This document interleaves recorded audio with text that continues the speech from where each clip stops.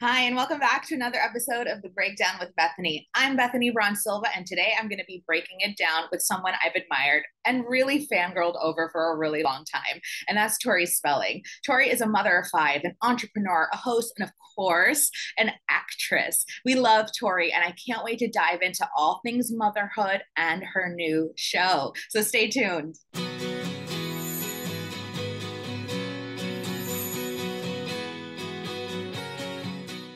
Well, Tori, let's jump right in. You've had such a busy week between the Masked Singer and then your kids starting school yesterday. We have so much to cover, but I did want to start with the Masked Singer because I was so moved by your Instagram post, the one where you talk about how the Masked Singer brought you so much confidence. And I know as a mother, especially when we have, when we instill confidence in ourselves, it helps to instill confidence in our kids. So can you tell us a little bit about what that experience was like? Um, so singing in public, singing and singing in public and performing in public.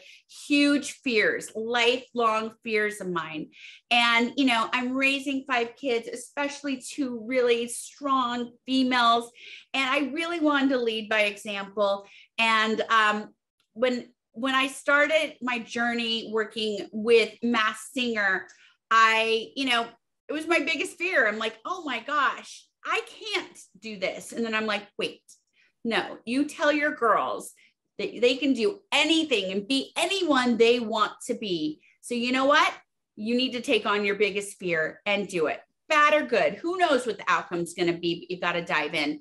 And the journey doing it has been so amazing because what I didn't realize is that, you know, it's not just singing and performing, it's actually being behind a mask and being in the public eye my entire life, I have always felt like, you know, I have amazing fans, but then I have people that, you know, judge me. They hear my name, they judge me. They see my face, they judge me. They, you know, see what show I was on, they judge me. I have people that still say, "Oh, you're only on you're only working on shows because of your dad." And I was like, well, sadly my dad passed 15 years ago and I'm working every day. So but it's stuff that sticks with you. And I think more than anything, it sticks with us inside.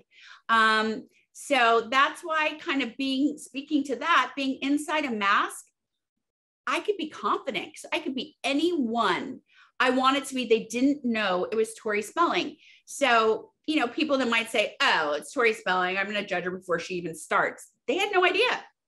So it was such a freeing feeling. I can't even tell you. And I loved it. And whenever I wear that mask, I literally I stand up straighter than ever. My shoulders are back. I have so much confidence and it just stays with me. And anytime, you know, we have ebbs and flows in life, it starts to dip. I'm like, Masked Singer. And then I'm like, oh, right back there.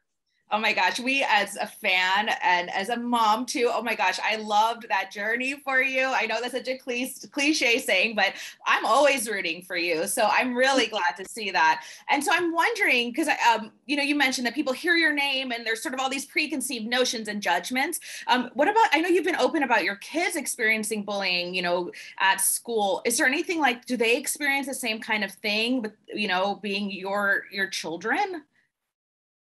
Um, there there has been a layer of that, um, but you know, it's it bullying comes in all varying de- degrees, you know, and it comes, you know, it's very subjective and individual, and you know, it's all how it makes us feel, and it can be about so many different things.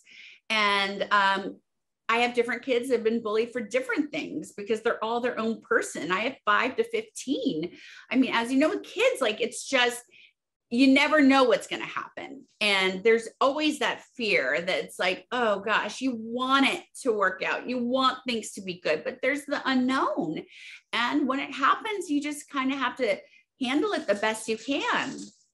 Yeah, absolutely. Actually, this is one of the busiest time of year for moms, especially for families. And you just, I was going to say, you have a wide range, age range of kids, five kids between the ages of five and 15. So, how are you managing with all the back to school? What are some of your tips? because my kids don't go back until September 8th. And like oh, I said, I, oh, I only have two, but I need all the help I can get. So, you know what? It's stressful for parents, whether you have one or five. Like, it, it, it doesn't get easier.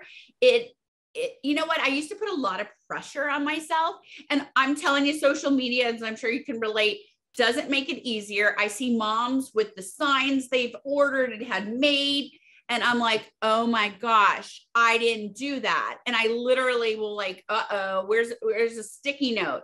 First, you know, first day, ninth grade, hand it to my kid, hold it up, take a picture. And it's like, you know what? That's okay. Cause we'll look back and be like, hey, it wasn't perfect, but it was our lives. And this is the memories we'll like actually make rather than having that perfect photo. Um, but it's, you know, it's stressful. And I always think I'm not a planner, which is hard with five kids. My brain doesn't think that way.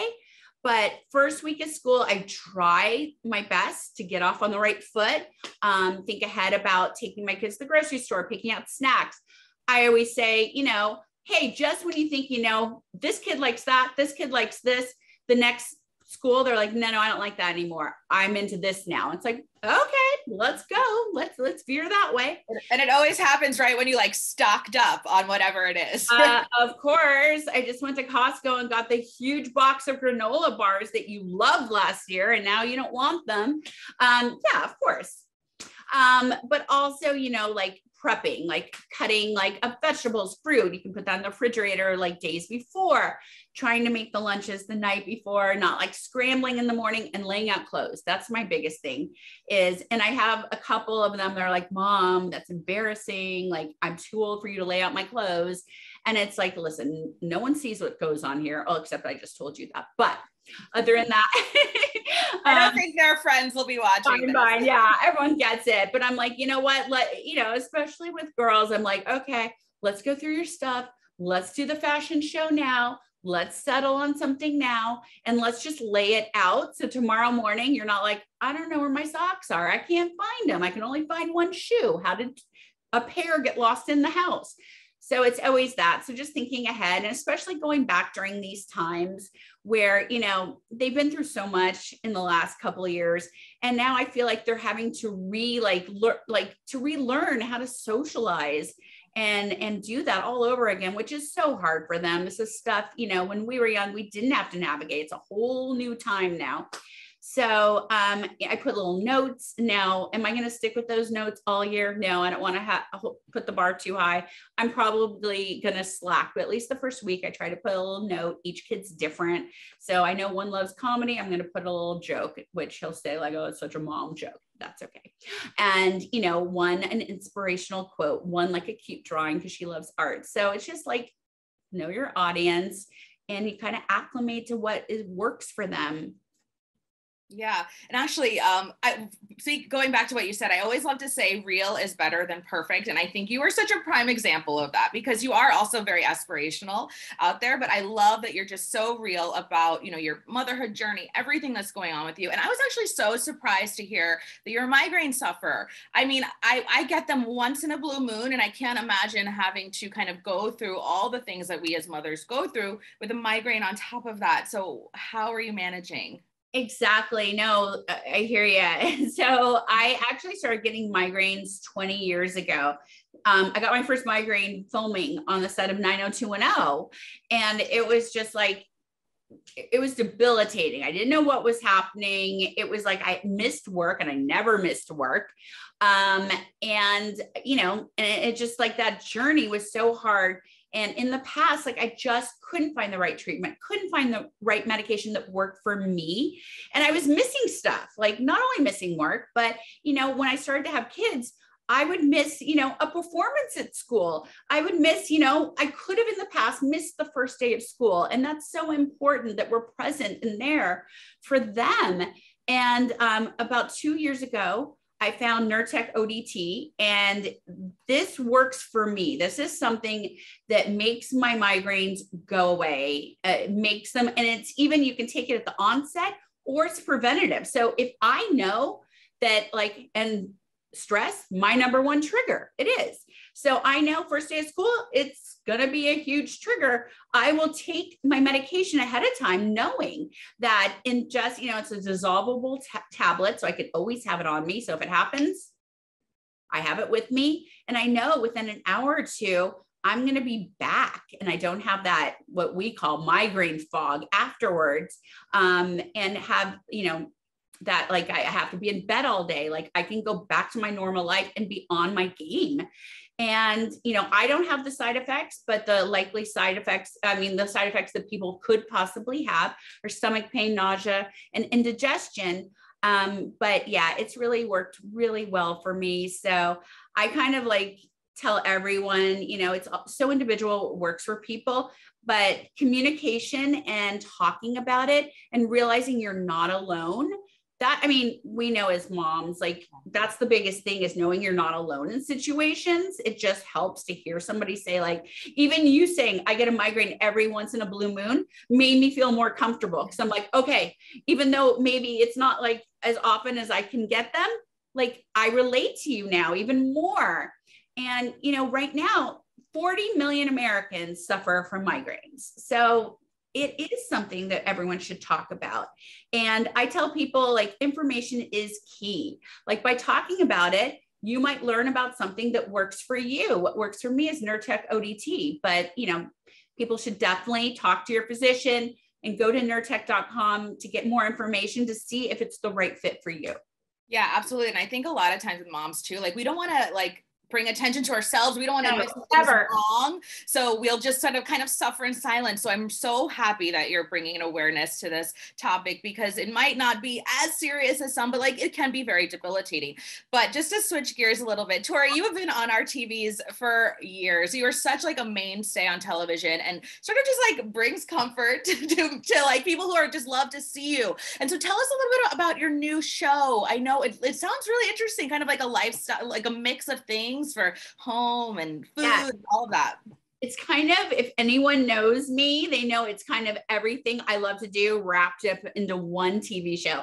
So it's called At Home with Tori, and I get to, I get to cook, I get to bake, um, DIY, party plan, and I do it all with my kids. So it's a really fun family show. I have my friends on it.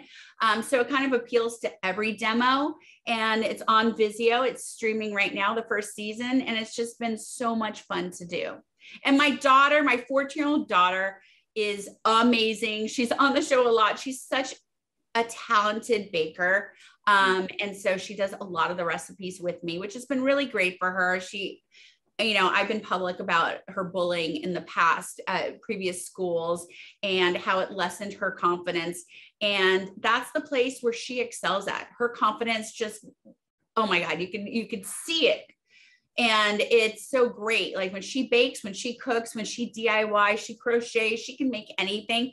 I see her confidence come back. And I think it's really important that we kind of navigate that each child is different and what what builds their confidence and kind of go with that. So this show totally does that for her. That's such a, I mean, I, I'll pay you later. You totally did a full circle moment for my interview. We started with confidence. We're ending with confidence. Tori, thank you so much. You're a joy. I'll be rooting for you all the way. Um, so yeah, thank you so much. If there's any, if there's any information that you want to share where we can watch, you said Vizio, but about the medication or anything else, you can share that with us now. Everyone can go to nurtec.com and you are TEC to get more information.com. All right. Thank you so much, Tori. Have a great day. Appreciate the time. Thank you. Bye. Bye.